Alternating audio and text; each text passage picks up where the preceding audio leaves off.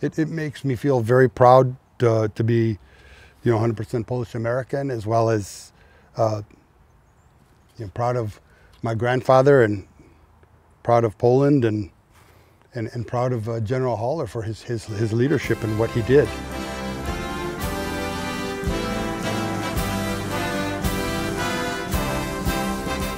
The Polish army in France, known as the Blue Army from the color of its uniforms, or the Haller Army from the name of its commander, was the most prominent Polish armed formation in exile during World War I. The Blue Army was established in 1917 established by decree of the French president on the initiative of the Polish National Committee. A significant force was created by Polish volunteers from all over the world. Emigrants from Polish lands, Poles from the German and Austro Hungarian armies who either deserted or were taken prisoner by the Allies, and above all, representatives of the French and American Polonia. From October 1917 to mid February 1919, over 38,000 volunteers were registered in the United States. About 22,000 volunteers were qualified for military service. After being sworn in, they were sent to the Kosciuszko training camp in Niagara-on-the-Lake, Canada. Many already had basic military training acquired in the combat teams of the Polish Falcons Alliance in America, which was initially a sports gymnastics organization that eventually assumed a paramilitary character. It was later on in, in life where I actually learned about all the, the over 10,000 people from southeastern Michigan, from the Detroit area, who actually went to Poland by way of Canada to serve Poland um, uh, during, during the wartime. By the Treaty of September 28, 1918, the Blue Army was recognized by the Entente powers as an independent allied and sole co-belligerent Polish army. The Paris-based Polish National Committee, identified by Western powers as the organ exercising political control over the Polish army, gained the right to appoint the supreme commander of the Polish army. General Józef Haller was appointed to this position. World War I ended in November 1918, but not for Poland, which was still fighting for independence. The issue of access to the sea was at stake, and the Greater Poland Uprising and Silesian uprisings broke out. Soon after, the Polish Bolshevik War began. The young Republic of Poland had to defend its independence. In 1919, the Blue Army, under the command of General Haller, went to Poland, where it fought to defend an independent Poland against its enemies, which included the Bolshevik Red Army, which intended to invade Poland and spread communism throughout Europe. In September 1919, Marshal Józef Piłsudski issued an order to incorporate all emigrant armed forces into the structure of the Polish army. General Haller was removed as the commander of the Blue Army in June 1919 and directed to the Polish-German border to take command of the Southwest Front. The Blue Army was disbanded entirely. Individual formations became part of other national military units. Under a different, constantly changing command, soldiers of the Blue Army, colloquially known as Hallerczycy after the general, felt abandoned and disappointed. Volunteers from the United States were demobilized, angered the Polish American community and the volunteers themselves, the soldiers. The matter was discussed at the highest levels of the American authorities the issue of returning the demobilized volunteers was raised in the House of Representatives at the beginning of 1920. The House authorized Secretary of War Newton Baker to transport them on American cargo vessels, ships tasked with supplying American troops stationed in the occupied Rhineland. Apart from recognition and awarding them the Cross of Polish Soldiers from America, the veterans were left to fend for themselves. In general, it may be said that the Polish troops coming from overseas are an unusually fine lot of men and will make excellent soldiers and splendid American citizens if properly directed. Isn't that beautiful?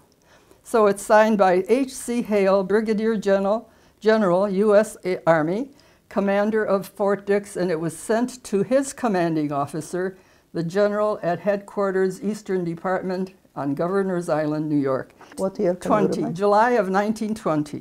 That's when most of them came back in 1920. I invite you to meet Mrs. Henrietta Nowakowski, whose father, Ignacy Zapytowski, was a soldier of the Polish army in France.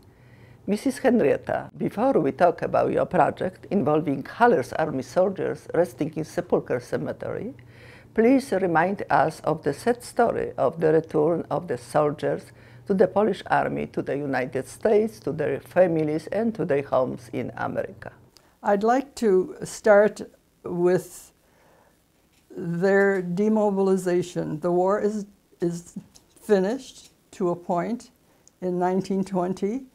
The um, soldiers mostly came back in the, in the summer of 1920, some in 1921, and one of those buried in the cemetery that you mentioned came back in 1922. So it was a, it was a continuous uh, return. Some of the veterans remained in Poland, uh, and incidentally, if it were not for the depression, the crack, the, the crash of the Wall Street market, I probably wouldn't be here today because my parents were, their ambition was to return to Poland, but because they lost all of their savings in the banks that crashed, uh, I'm here and not in Poland. Anyway, that's neither here nor there. Do You have uh, an idea, do you, how many uh, volunteers Came from back? Michigan, yes. Oh, from went- Michigan, no. Yes. But I know there were at least 10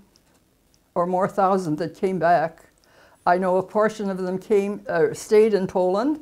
As I mentioned earlier, my parents were planning to go back because the Polish government gave them a piece of land, mostly in the eastern part of Poland and of the newly formed Poland.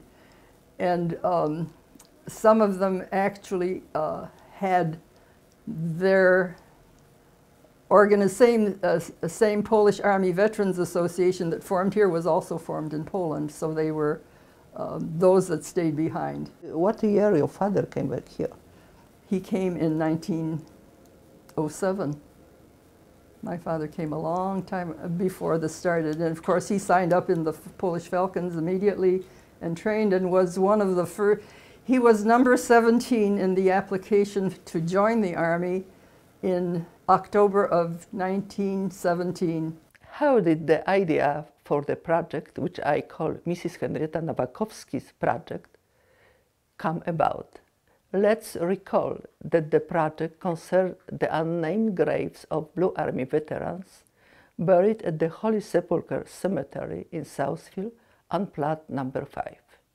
Well, we'd have to go back to my childhood. I remember going to the cemetery where there were um, uh, ceremonies honoring these men. There was, I remember one of the mentions is uh, Chór Lutnia. I don't know if you remember that choir. Yes, I- The Lutnia choir sang, and there were uh, uh, wreaths placed, uh, placed at the graves and so forth. I remember that from my childhood. And um, I was always curious about some of the unanswered questions about this whole project, and, and I had the good fortune to interview two people who were connected with the organization that funded these graves.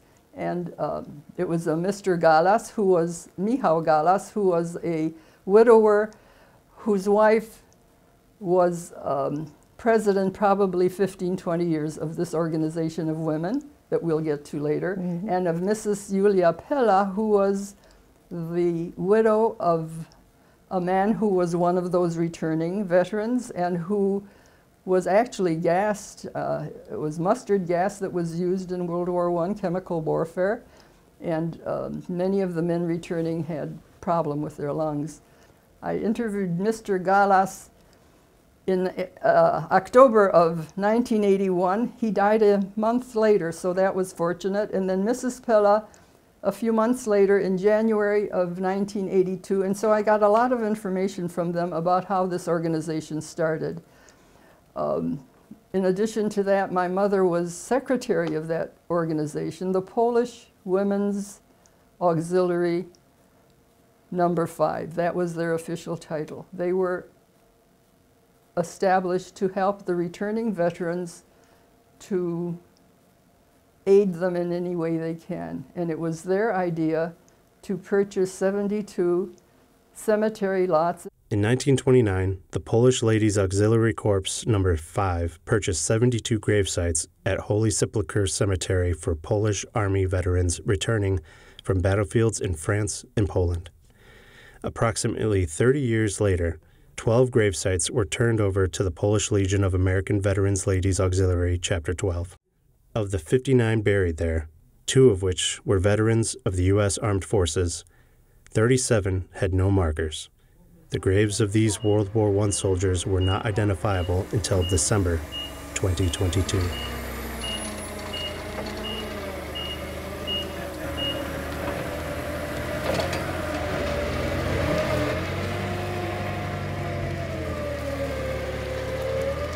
Thanks to the generosity of Poland's Institute of National Remembrance, 60 grave monuments have been installed.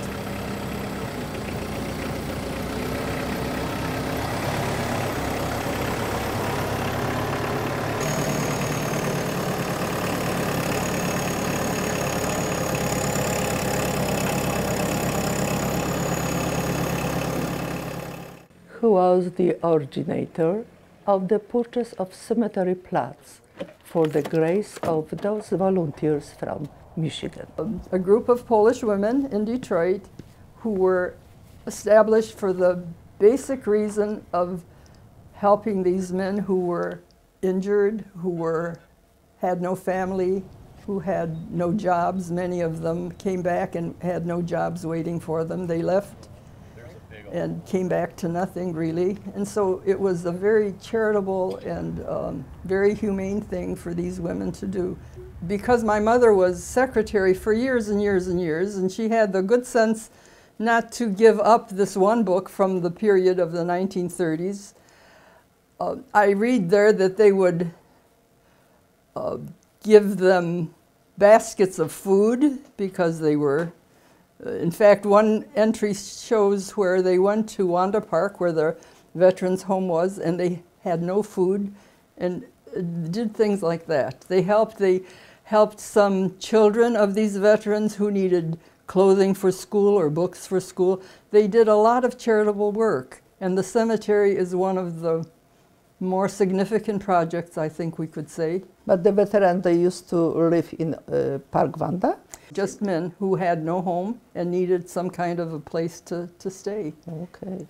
That's, that was the whole purpose of the building uh, of Wanda Park in general.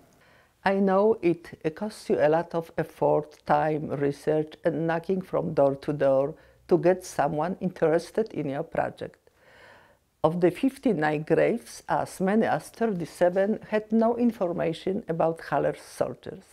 How did you get information about them? I'd have to go back to 2007, which took me back to Holy Sepulchre Cemetery for the first time since my childhood. And that came about because the Polish Genealogical Society of Michigan was um, had a series of articles on cemeteries, mostly connected with Polish churches, not only. And they had an article about Mount Olivet Cemetery, which has a section of Polish soldiers buried there. And I told them about Holy Sepulchre because I remembered that there were Hallerczycy, or members of Haller's army buried there. And so I took them there and they wrote an article, and luckily at that time I got a list of who was buried there. Mm -hmm. And uh, the list changed a little because one of them was exhumed, and that's how I know who was in that grave that's now empty. And in what he, he was there in 2007, but in 2017, 10 years later, he was gone and exhumed and buried somewhere else. So I know that that's the period when he exactly was taken out of the cemetery. His name was Ludwik Bogacki, if anyone's interested. Mm. But um, so, so the list was accurate, and all the cemetery had was the name, and often misspelled, which was a very difficult project because the exact spelling was, if you don't have the exact spelling, it's kind of hard to find. But eventually it was corrected the cemetery only had their name, their date of burial, not the date of death, not the date of birth, just those two pieces of information name and date of burial. And so uh, the IPN, or the Institute of National Remembrance, IPN as it's called in Polish, Instytut Pamięci Narodowej, sent a list after I gave them the list of the names. They did all the research they could in, in Poland. But you have to remember that the war destroyed a lot of their records, and so they were very, very incomplete. The um, places that I went to, well, first of all, I tried m- many to get many people interested in promoting this project. Uh, the Polish Legion of American Veterans, who were the final owners or managers of those graves, I went to the Polish Army Veterans Association here in Detroit. They were not able to help. I went to um, several other individuals and finally went to Father Krull at Orchard Lake, and he directed me to the, to the then director of the Polish mission, as it was called then, Arkadiusz Górecki. And thanks to him, the project really took off. He is the one who um, made the connection with Orchard Lake, between Orchard Lake and the Institute of National Remembrance, or IPN in Poland. And that started the ball rolling because they were very enthusiastic about honoring finally these men. And when I went there in 2007, I saw the, the lack of identification, the lack of any kind of care. It was a very sad sight, and that's really what started it in 2007. And then in 2017, it finally got going. And um, thanks to those two men, it got started. It means that uh, any other organization was not interested in the topic? Well, they were, well, the Polish Legion of American Veterans didn't even know what I was talking about. They had no idea they were even in charge of that.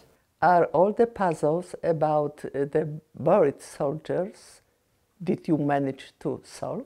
Until the 1960s, the last, the last one was buried in 1962. And I think after that time, the, the main um, proponents of the cemetery, that's Mrs. Galas, who was the president, she died in 1970 something, turned, turned uh, the whole matter over to these ladies in, in uh, the Polish Legion of American Veterans. And apparently they just, after all those original ladies died, no one else cared about it. And that's a little sad. I think part of the reason might be if you're a serviceman in the United States Army or Navy or whatever branch of service, you, you, if you request it, you get a, a plot, a cemetery plot, a, a grave site, and you get a marker telling you what army you served in, what division you were in. If, if you wish to have that, the government will give you that. And perhaps these ladies figured that, um, well, this really is not a necessary thing for us because the, the, United, the United States government will take care of these men. So maybe that's the reason that it fell into, I think apathy would be a good word. They just didn't feel a need for it anymore. So going back to, to your question about the research that, that was Yes. required for this project. So this is a list of what Poland's, from IPN, let's call it IPN because it's so much simpler, that, mm-hmm. that very fine group in Poland, which is government sponsored, that took over this project. So you see all the blank spaces there? And this is the same, and all that had to be filled in. And that repeats on every page. So there was an awful lot that had to be done. It's about And- and I went- 59 I'm sorry? How many soldiers do you have? Well, 59. 59, okay. 59, which is the current list today. Mm-hmm. There were 60 in 2007, now they're at 59. It was a lot of work.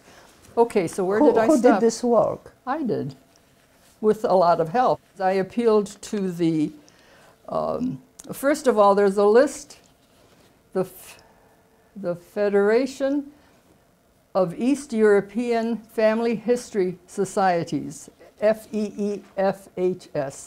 they had a list among their on their website of all the names of applicants to the Polish army and they gleaned that list from the Polish Museum of America in Chicago which has a pretty uh, extensive list. O projekcie y, dowiedziałam się pewnego razu, będąc w konsulacie, i tam zobaczyłam panią Henrietę. Kiedy dowiedziałam się, że ona jest jakby głową tego projektu, bo pewnie tak można nazwać, ogromnie się ucieszyłam i wiedziałam, że ten projekt wcześniej czy później dojdzie do końca. E, Sam projekt e, pojawił się u nas e, poprzez prośbę oficjalną z Orchard Lake, aby wspomóc i poszukiwać skanów, dokumentów rekrutacyjnych do Armii Polskiej. Oczywiście pojawiło się tam nazwisko pani Henriety i oczywiście z wielką radością przystąpiliśmy do projektu, ale dobrze go pamiętamy, ponieważ był to czas pandemii. E, To był, zdaje się, marzec e, 2020 rok, kiedy nasze muzeum było zamknięte i wszyscy pracowaliśmy z domu. Ale oczywiście projekt interesujący. Y, Obie archiwistki, Teresa Sromek i ja, miałyśmy przyjemność uczestniczenia przez, no, powiedzmy, wiele tygodni. To była setka bodaj nazwisk do sprawdzenia, bo trzeba pamiętać, że y, o tym samym nazwisku było wiele akt z różnych miejscowości, z różnych centrów rekrutacyjnych, czyli znalezienie nazwiska i imienia wcale nie oznaczało, że to jest weteran, którego pani Henrietta Bo, poszukuje. e, Rozumiem, że pani Henrietta udo- e, podała państwu nazwiska, tak? I Tak, otrzymaliśmy nazwiska i bardzo szybko odkryłyśmy wspólnie z Teresą, że te nazwiska się powtarzają. I przykładowo, gdyby pani Henrietta poprosiła nas, to wówczas mamy Jan Dworecki z punktu rekrutacyjnego numer 3 w Detroit, Michigan. Przykładowo ta osoba to jest ta osoba, której poszukuje pani Henrietta, ale mamy też to samo nazwisko z Erie, Pensylwania, Czyli prawdopodobnie to był całkiem ktoś inny. Całkiem prawda? ktoś inny, oczywiście. Tutaj mamy John, czyli już zmienione imię, ale też Erie, Pensylwania.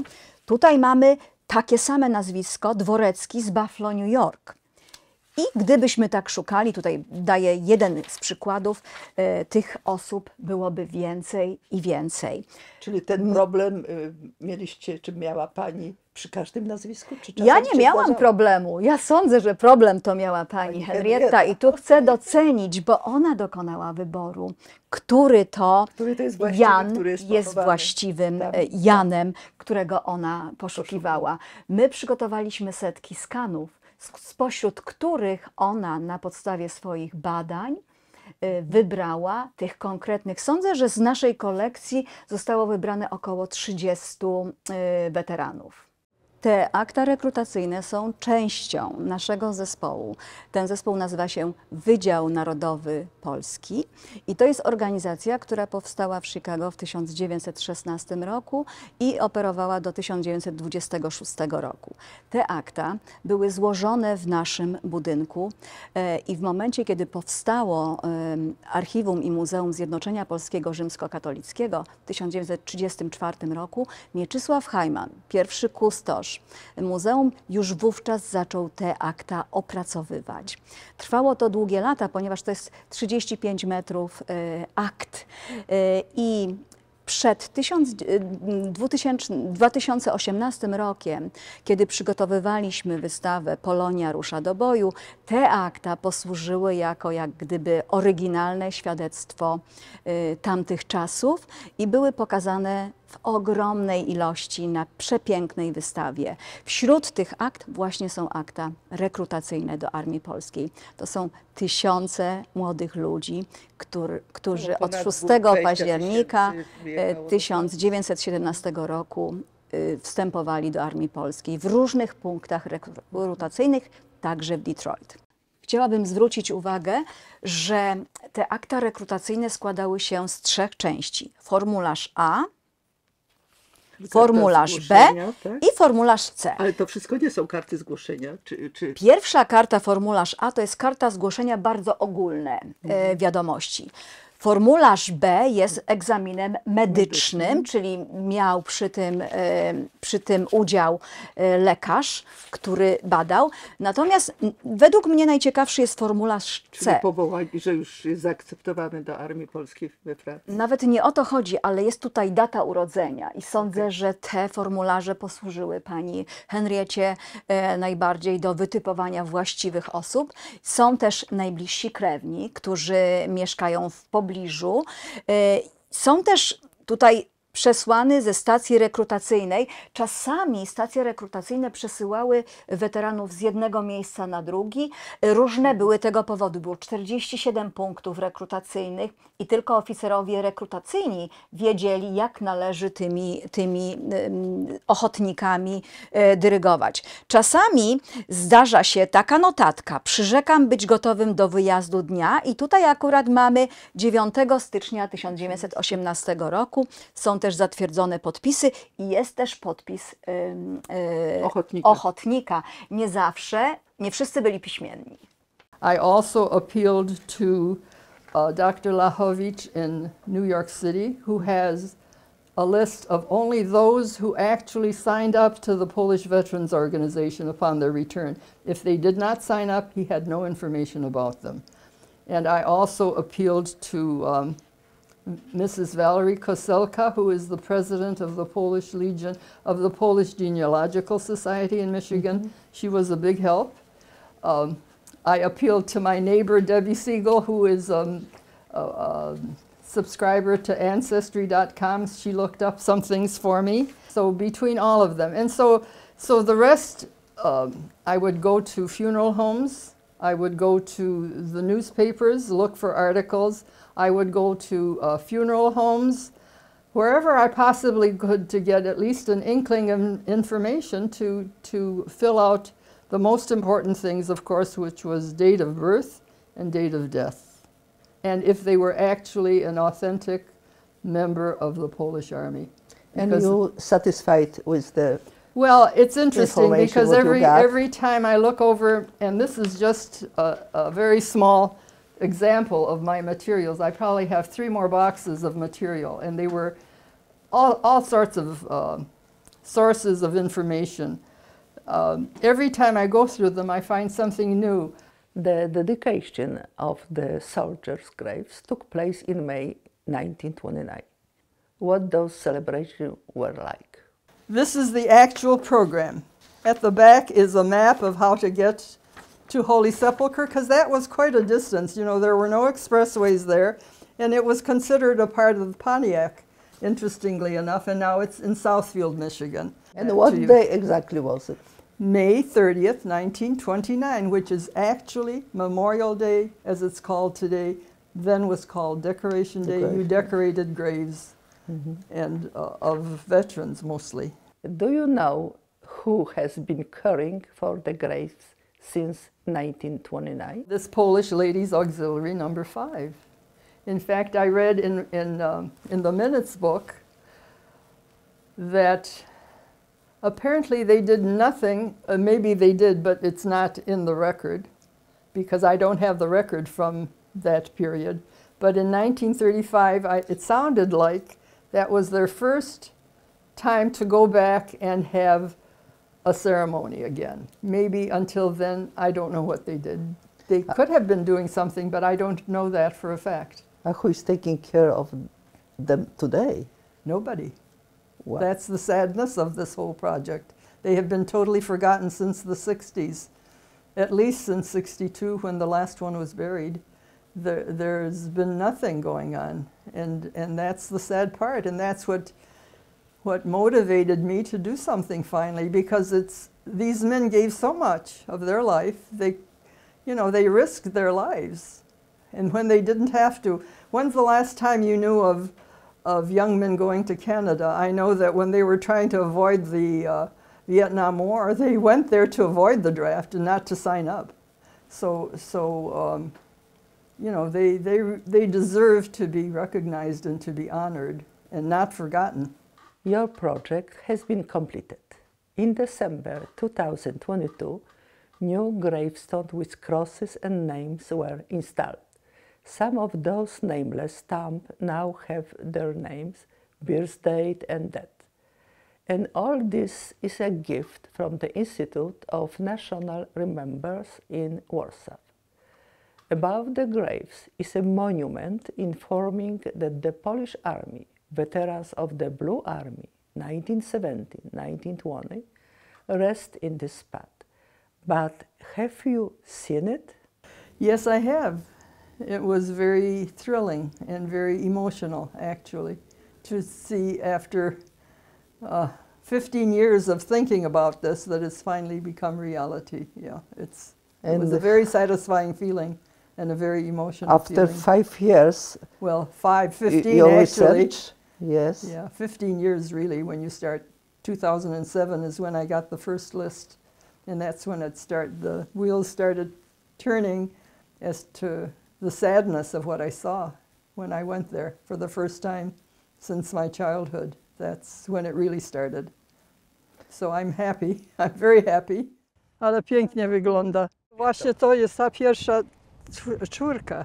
Gancarz, Taraszkiewicz, Gołuba i Dworecki. To ci pierwsi byli pochowani w 29 roku. Tego Gancarza to y, trzy, cztery różne wersje jego nazwiska. Tak? Musiałam, o tak. Ale to jest Gancarz to jest właściwe. To, to wyszukałam, żeby było akurat. Dokładnie tak, jak powinno być. To widocznie to jest, to jest ta pierwsza część, tu jest 29, 30, 33, to widocznie ta pierwsza, ta pierwsza część. I to wszystko 30, 31. To, to były te pierwsze groby. What do you think your father would say today, a veteran of the Polish army fighting for the Poland's independence? Oh, my father would be so happy. Uh, uh, his whole life was Placówka Siódma. He was one of the organizers. He was the original treasurer under Kasierem. Uh, he was one of the men that organized Placówka Siódma, and that was in 1921, a year after they came back. And he would be thrilled. He would be thrilled. He would be very happy. And that makes me happy. Some people think I'm doing this for my father because he's buried there. I'm really doing it for my father.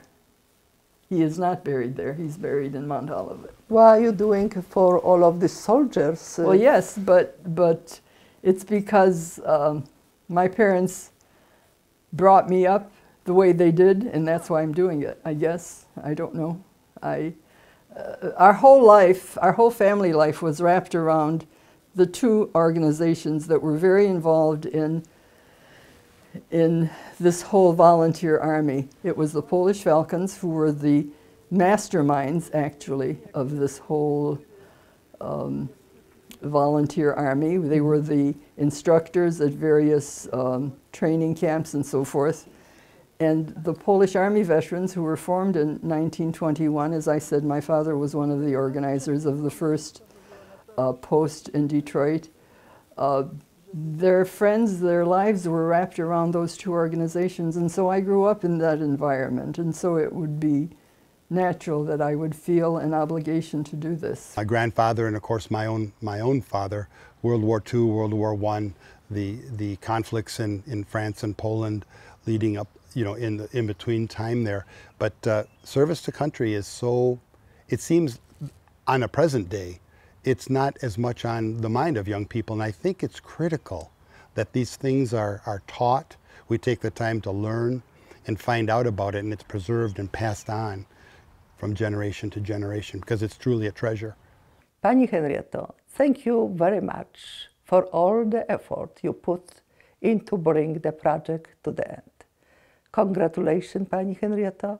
We are so grateful for what you have done for them, the Polish soldiers and our Polish community in Michigan, and not only in Michigan. Well, you're welcome, and it's a very, very satisfied feeling. It feels that um, life was worth living to get to this point.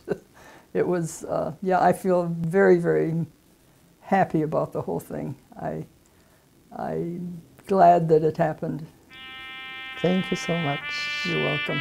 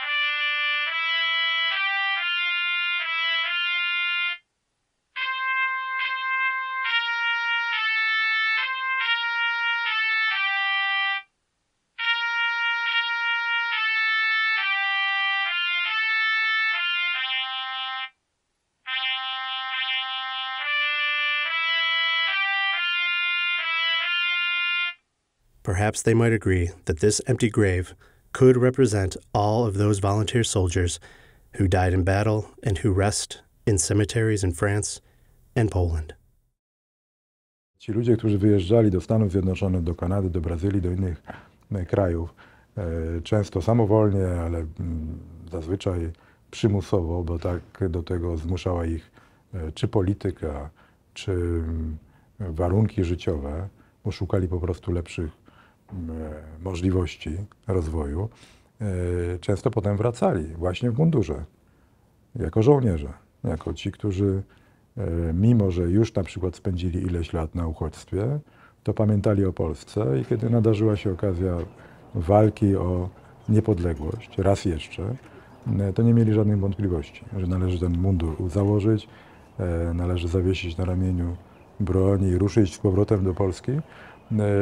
I myślę, że gdybyśmy dzisiaj zapomnieli o ich grobach, gdybyśmy o nie nie dbali tak, jak powinniśmy dbać, no to mm, mm, myślę, że że popełniliśmy, popełnilibyśmy naprawdę niewybaczalny grzech. Także e, powiem Pani e, osobistą historię. Wiele lat temu e, po raz pierwszy miałem okazję pojechać i zobaczyć cmentarz na Monte Cassino polskich żołnierzy, którzy w tamtej bitwie polegli. Razem z dwójką moich dzieci, małych wtedy jeszcze. I muszę Pani powiedzieć, że E, pierwszy raz widziałem moje dzieci płaczące rzewnymi łzami na cmentarzu, mimo że tam nie mamy żadnych swoich przodków, członków rodziny pochowanych na Monte Cassino, e, ale to nawet dla takich młodych ludzi, młodych Polaków, to było no, niezwykłe i myślę, że niezapomniane doświadczenie. Kiedy człowiek sobie uświadomi właśnie, e, jakiego, jakiego czynu, jakiej, jaką ofiarę złożyli polscy żołnierze, czy to pod Monte Cassino, czy w, w Narwiku, e, czy w Falaise, czy w wielu, wielu, wielu innych miejscach, w których walczyli, czy to podczas II wojny światowej, czy tak jak Halerczycy e, w czasach, kiedy odzyskiwaliśmy niepodległość w 1918 roku.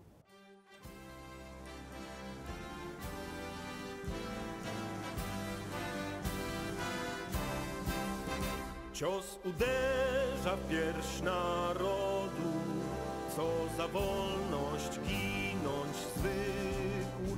Barbarzyńskie hordy wschodu niosą topór, knut i stryk. Pod nogami nędznej dziczy wolna ziemia bluzga krwią i od bluźnierstwo zdepczem ją ofiarny orle biały, zbawić ludy jeszcze raz. Marsz Polaków pole chwały, dzień triumfu wzywa nas. Polska bitwo pieśni czynu, niech brzmi w niebo pacierz Twój, nie zamarny liść wawrzynu za ojczyznę idziem w bój. Nad odwieczny dach gwiazdowy, nad rozłogi chlebnych pól. Leć nasz hymnie narodowy, szczęku szabel świście kół. Wstań, ofiarny orle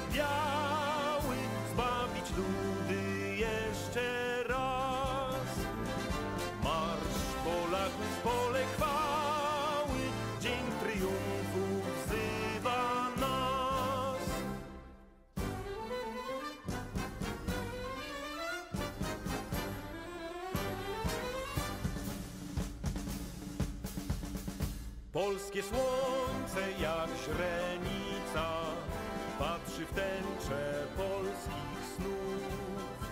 Pieśń zwycięstwa gra stolica.